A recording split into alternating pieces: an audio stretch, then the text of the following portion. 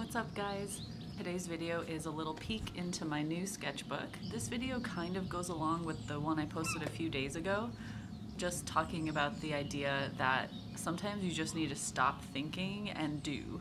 And in my case, something that I do all the time is I scroll online for inspiration and I get sucked down the rabbit hole of Pinterest and Instagram and I'll just look at so much beautiful art and think, okay, in like a few minutes I'll start sketching. And you know, two hours later, I've done nothing but pin a bunch of cool stuff and comment on a bunch of Instagram posts.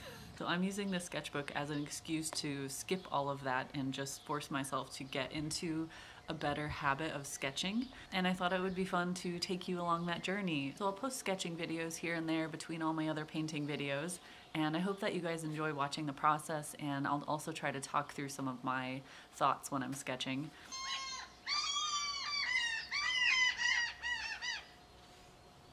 Okay. For those of you who are interested in learning landscape drawing, I have a big series of tutorials coming.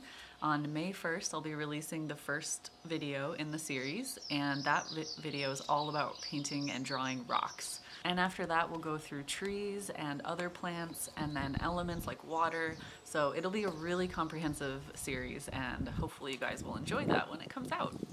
But let's get back to sketching.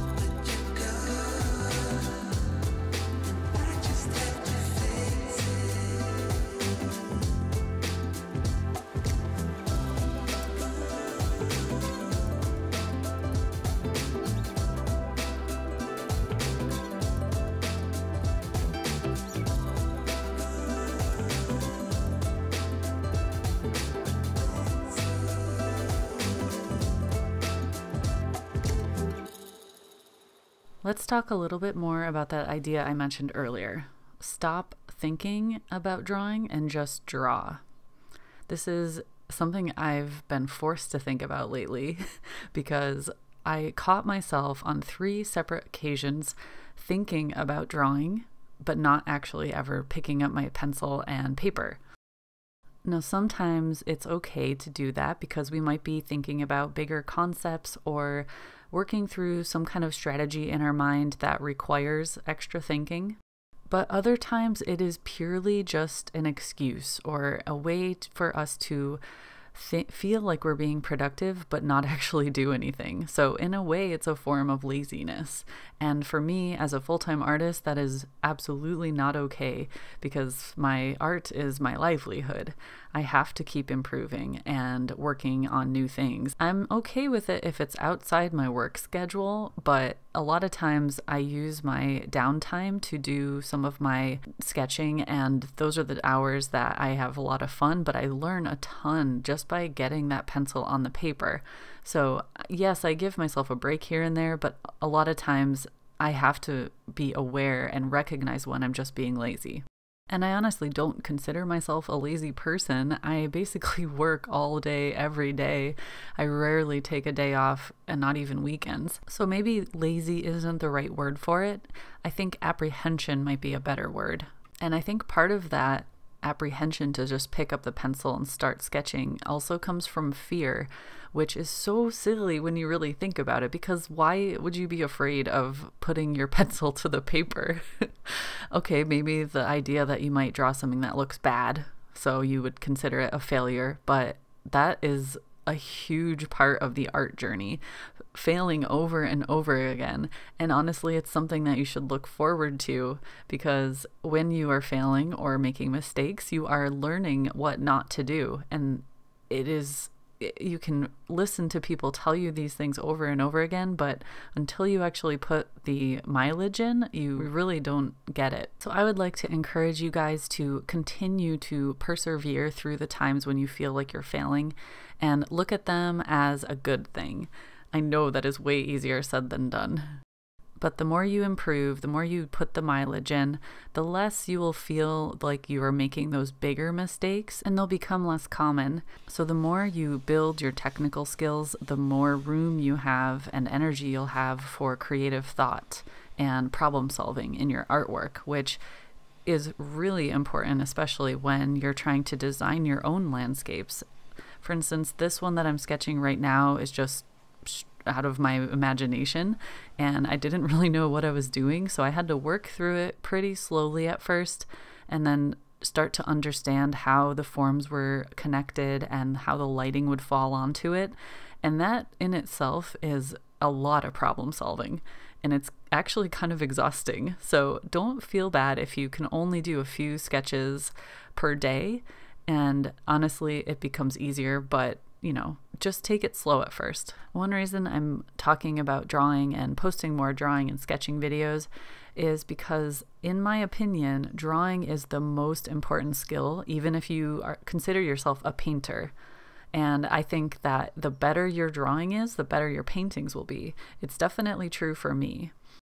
And I know for beginners, a lot of times it's super tempting to just skip a lot of the foundation work and the and the time that it takes to learn how to draw and just go straight into slapping the paint on the canvas. And, and I get it; it's really fun. But if you are serious about getting better and understanding how forms work and lighting and perspective and scale and just making your paintings really strong, then you really will need to learn drawing. So that's why I'm working on the huge comprehensive series of tutorials I mentioned earlier. And drawing is a big part of those tutorials. I also teach you guys how to paint with various mediums, including digital and watercolor and gouache. Uh, whichever element we're talking about, like rocks, for instance, you'll get a full crash course in how to create and design your own rocks and rock clusters and different types of situations and learn how to paint them. I'm wondering how much you guys would like to see longer sketching videos, something with maybe more of a close up and showing more of the line work and the details. And maybe talking through it or not. It, it's a, I don't know, I could try both versions. uh, I'm just curious, like, how much people enjoy watching sketching on my channel, because I know a lot of people are here for the painting. Uh, so please do leave a comment below and, and let me know. That would really help me. I really love how this channel is becoming more of a back and forth, a give and take, where I, I love making videos and posting videos and talking with you guys in the comments, and I feel like we are getting to know each other, which is really cool. I've met so many amazing people from around the world. Also, feel free to stop by my live streams. I do live streams every Monday on Twitch, but occasionally I'll do live streams here on YouTube as well. But those are really fun because it's all real time chat and you guys can ask questions or just talk about whatever. But, anyways, I just hope that you guys have fun and maybe you use my videos to inspire yourself or you just have them on in the background for some company, which I do all the time.